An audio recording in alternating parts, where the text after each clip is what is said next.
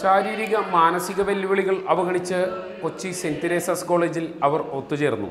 സംസ്ഥാനത്തെ നൂറ്റി അൻപത് സ്പെഷ്യൽ സ്കൂളുകളിൽ നിന്നായി രണ്ടായിരത്തോളം വിദ്യാർത്ഥികളാണ് സംസ്ഥാന സ്പെഷ്യൽ സ്കൂൾ കലോത്സവമായ ചിലമ്പൊലി രണ്ടായിരത്തി പതിനഞ്ചിൽ മാറ്റുരക്കുന്നത്.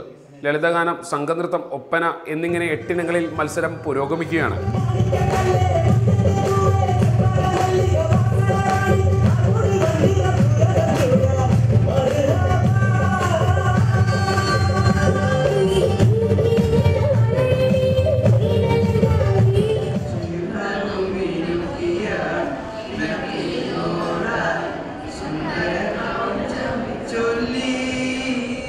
മുഖ്യമന്ത്രി ഉമ്മൻചാണ്ടിയാണ് കലോത്സവം ഉദ്ഘാടനം ചെയ്തത്.